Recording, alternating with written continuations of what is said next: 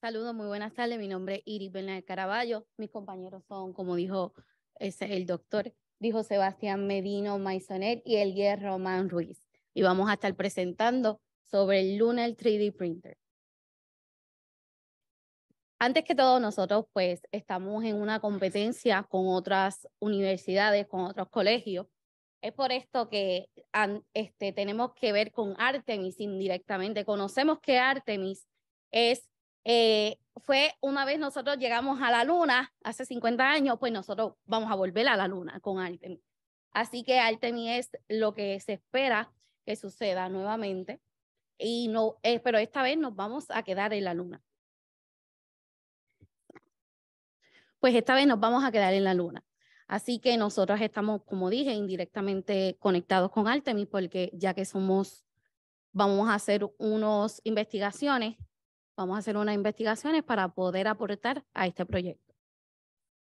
Nosotros estamos ligados con NASA Mines, que es nuestro representante porque nosotros fuimos, fuimos directamente elegidos por ellos como innovación de solucionar problemas que puedan suceder en Artemis en ese momento, que ya estemos en la luna.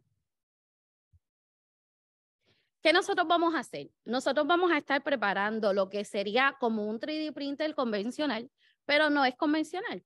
Vamos a tener, vamos a imprimir en, en, en concreto. ¿Qué significa esto? No es un concreto cualquiera, no es un concreto que solamente sería arena sería cemento, sería piedra. Nosotros estaríamos utilizando lo que es el regoli. ¿Qué es regoli? Pues si me pueden acompañar por aquí. El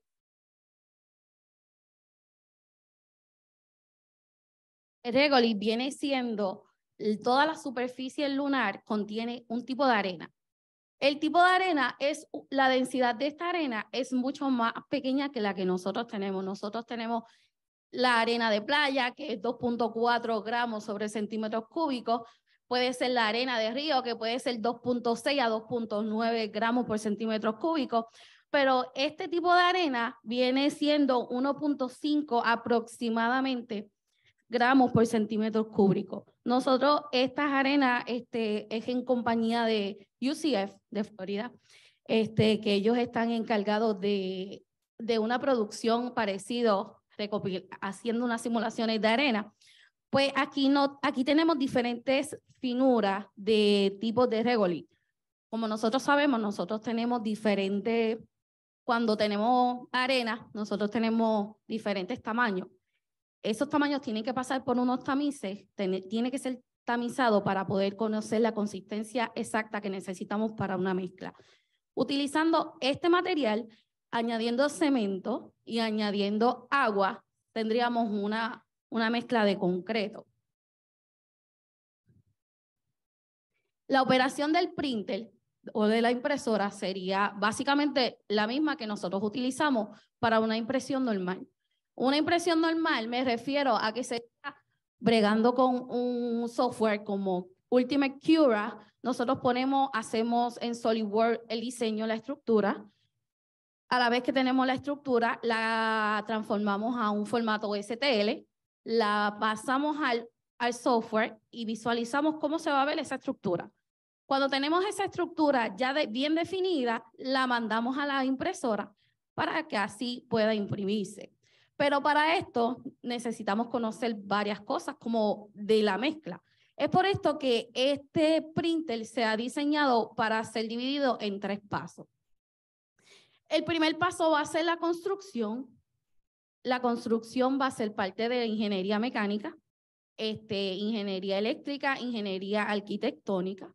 Nosotros tenemos la parte de construcción como ingenieros mecánicos los tres. Nosotros tenemos la parte de construcción, ya sea del, con aluminio, el que es autorizado por NASA, que es el 6061, 6063, entre otros que son una aleación permitida. Este, cuando ya tenemos el frame, ya tenemos las conexiones, ponemos unos axes, sea un axe en X, un axe en Y y un axe en Z. Ponemos unos motores que nos funcionen y que pues, se puedan mover a la par cuando nosotros le demos unos comandos. Así que a la vez que tenemos eso, nosotros necesitamos la colaboración de los compañeros en eléctrica para que entonces hagan un funcional, porque nosotros como, como mecánicos, pues nos vamos a enfocar en la construcción y en la funcionalidad del, printer. Luego que tenemos el formato y tenemos nuestra función de eléctrica también ready, nosotros vamos a seguir con la parte de software comunicaciones que esto se va a encargar, ingeniería en computadora también, va a estar incluido. Y a la vez que tenemos esto, pues podemos imprimir. Pero nosotros no podemos imprimir, como dije anteriormente, si nosotros no tenemos una mezcla adecuada.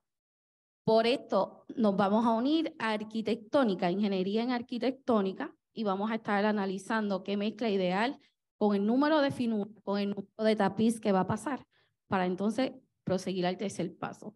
¿Cuál sería el tercer paso? El tercer paso sería el mecanismo que vamos a utilizar de recolección de regolí. A la vez que lo recogemos, lo pasamos por el tamiz que necesitamos. Cuando necesitamos un tamiz, lo pasamos a la mezcla de cemento y agua y a, la, y a su vez se mezcla y pasa por el nozzle que va a hacer.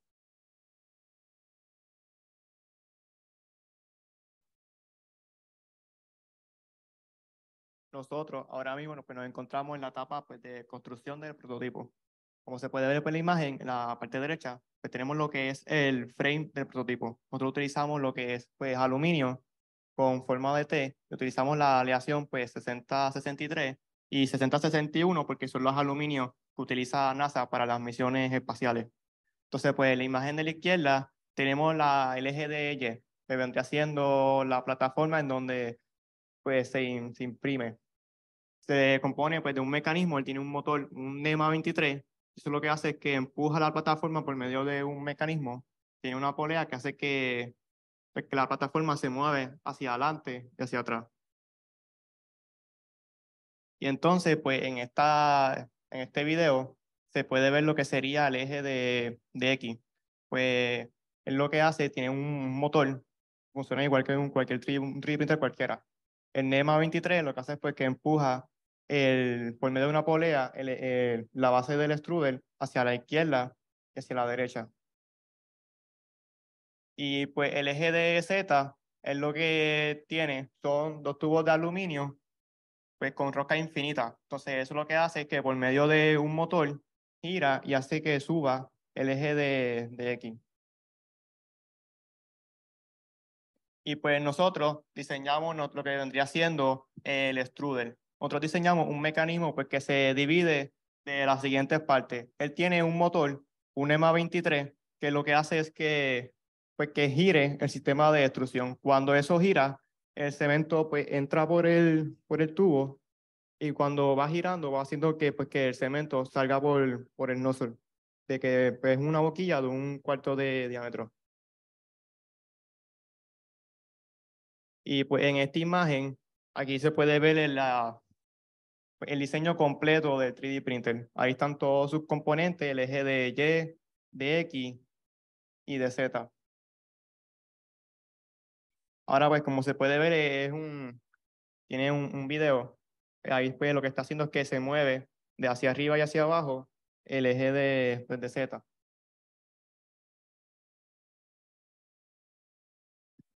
El circuito eléctrico eh, se alimenta de 110 voltios AC y se compone de cuatro transformadores. Tres de esos transformadores convierten esos 110 voltios AC a 40 DC, que en sí alimentan los drivers y los motores NEMA 23.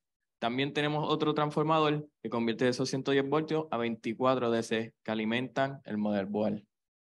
Por ahora, esto es un circuito provisional. Estamos comprobando el funcionamiento de los motores y del circuito como tal, para después pasárselo a nuestros compañeros de ingeniería, eléctrica y de, computación para perfeccionar el sistema. Como puede ver, la construcción está hecha mayormente de aluminio, pero hemos printeado unas partes de PLA o plástico para ver cómo hacían el assembly y hemos confirmado que se encajan bien. Próximamente estaremos fabricándolas de aluminio 60 61 de aluminio. Y la parte eléctrica ya hemos confirmado que eh, el funcionamiento es satisfactorio, los, los motores funcionan, el circuito funciona y solo falta perfeccionar el sistema. Bueno, como dijo el compañero, ya nosotros tenemos el prototipo hecho. Nosotros actualmente estamos con unas piezas y unos assembly en pelea. Pudimos hacerlo en, en o u otro material, pero actualmente escogimos el PLA porque es el material más accesible para nosotros como ingenieros y para nosotros bregar en una impresora 3D común. So, nosotros ahora vamos a entrar en la etapa de manufactura de esos, de esos componentes en PLA. A la vez que tengamos esos componentes en PLA en aluminio, lo pasamos por torno Mili Machine, que estamos a cargo de eso. Este, luego de eso vamos a, vamos a proseguir con la segunda parte y hasta ahora eso es lo que pertenecemos. Así que estamos, espera, estamos en contribución también con el diseño de la mezcla y ya va en proceso y ya próximamente dentro de dos semanas, no más tardar, vamos a estar este, probándolo con cemento real. Al momento está funcionando, está funcionando su software y pues ahora prosigue la mezcla. Eso sería todo. Muchas gracias.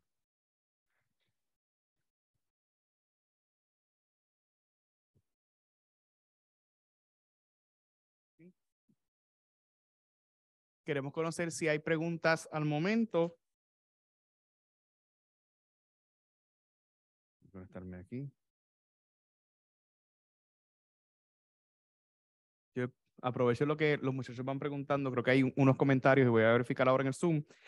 Quería preguntarle a los estudiantes, se pueden ubicar por acá, ¿cuál ha sido el reto más grande dentro del proyecto y cuáles han sido su, dentro de esa colaboración? Sabemos que Iris está colaborando con los estudiantes, pero ¿cuál ha sido el reto más grande? Bueno, el reto más grande ha sido pues involucrarme directamente, este, no simplemente en, en cuestión de, de bregar con un, con un metal tan blando, porque pues actualmente pues estoy bregando como técnico de laboratorio, este, y estoy acostumbrada a bregar con metales más gruesos, más sólidos, este, pero sí es bregar con el metal blando, un metal blando y poder este, satisfacer este, esa, esa, esos márgenes de error y ser, porque tiene que ser todo bien preciso, pues eso ha sido el reto más grande. Súper. Yo creo que cada uno de ustedes tiene una historia de cómo llegaron al proyecto, cómo se enteraron del proyecto, especialmente Eliel. Eh, ¿Cómo te enteraste del proyecto y cómo te uniste al proyecto? El proyecto, yo conozco a mi compañero de clase, yo tomé clases con él y fue bien inesperado cómo entrar a ese proyecto. Yo no planifiqué entrar al proyecto, pero unos compañeros de clase me dijeron, ve, asiste, este, vamos a, a omitir una clase, vamos a decir. Ok. Y pues fui, puse mi información y por mi sorpresa eh, me cogieron y he estado trabajando con ellos ya un par de meses. Wow. Este, y, y para este proyecto, ya no me contesta Sebastián, este, ¿ustedes reciben alguna puntuación o es completamente voluntario su participación en este proyecto? Pues nosotros ahora mismo estamos trabajando pues voluntariamente con NASA. Ok. Y pues estamos trabajando pues en el diseño de este prototipo y pues hacerlo funcionar.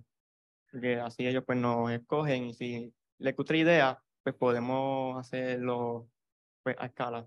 Wow. ¿Qué otros proyectos, este, ahí me voy a contestar Iris, qué otros proyectos están desarrollando eh, ahí mismo en la Escuela de Ingeniería en Interbayamón? Bueno, en la Escuela de Ingeniería actualmente tenemos alrededor de siete proyectos. Estamos bregando con dos satélites, uno 3U, tenemos uno U.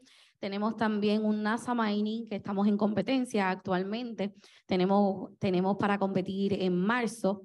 En marzo es la, al final tenemos que ir a viajar a competir. Este, también tenemos unas, este, hay una que se llama algas marinas, este, pero en realidad no tiene que ver mucho con algas marinas, sino es con algas, eh, es como un tipo de mantarraya, pero es para la NASA. So, que lo que va a hacer es cómo el, cómo el sonido viaja a través de cómo el sonido viaja a través de las rocas. También va a ser estudiado para, el para, para los satélites y es como un tipo de tubo que tiene como muchas manitos como las algas que hacen pues entonces el sonido tiene que pasar a través de esos tubos y eso se va a estudiar. Wow, espectacular. Este, sí, queremos abrir el foro. Este, si alguien a nivel virtual tiene alguna duda o pregunta, algún comentario, alguna este, sugerencia a los estudiantes. Sabemos que hay 16 personas conectadas en sala. ¿Alguna pregunta? Les recordamos que es importante que llenen el enlace de evaluación. Esto nos va a servir de mucho tanto a los compañeros de GESI y por supuesto a los estudiantes que están presentando en el día de hoy en esta presentación del 3D Lunar Printer. Así que, bueno, de no haber preguntas o sugerencias o comentarios, agradecemos a los estudiantes, a Iris, a Sebastián y a Elier por su excelente. Hay una pregunta que es que no la veo reflejada acá. Si la pregunta la pudieran o le puede dar copy and paste. es que parece que entré, tarde al enlace. Ok.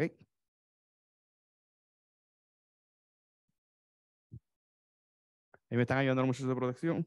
Ok, eh, están preguntando por el extruder. ¿El extruder solo permite eh, ese tipo de materiales? Bueno, eh, nosotros estamos diseñándolo específicamente para este material, para cemento, lo que sería cemento, porque van en este caso va a necesitar lubricante, un lubricante, porque sabemos que el cemento pues se seca y si se seca pues no se puede mover. So, vamos a, este extruder es específicamente con un diámetro de 0.4, so, es un poquito más grande, de 4.0, disculpa, este, que es un poquito más grande de, un, eh, de uno regular. por eso fue diseñado solamente para cemento y para este tipo de cemento. So, los nozzles y eh, la boquilla, según va bajando, también son específicamente y van a tener lubricación también. Wow, interesante por debajo. No sé si hay alguna otra pregunta en confianza. Ya vemos que hay gente que estuvo pendiente, pues están preguntando específicamente por el extruder. O sea, que conocen del tema, pero pues si están hablando del extruder, de seguro conocen del tema y, y están familiarizados o estuvieron pendientes de la presentación. Bueno, de no haber más preguntas eh, con relación al tema, agradecemos a los estudiantes. Este, ¿Dónde los pudieran contactar o dónde los pudieran conseguir en todo caso, la Escuela de Ingeniería en Bayamón? Bueno, eh, efectivamente nos pueden encontrar en la Escuela de Ingeniería en Bayamón. Este, por internet estamos localizados, o sea, mi email es iribernard arroba. Soy técnico, la técnico de laboratorio, estamos a la orden. A cualquiera, cualquier sugerencia, cualquier trabajo que quieran, o sea, que quieran pertenecer, nosotros aceptamos colaboradores y estamos a disposición de todos ustedes. Muy bien. Pues gracias y un saludo muy especial a la gente de Inter Bayamón. Bueno, para todos eh, y todas, gracias por estar con nosotros en esta presentación concurrente. Así que, buenas tardes.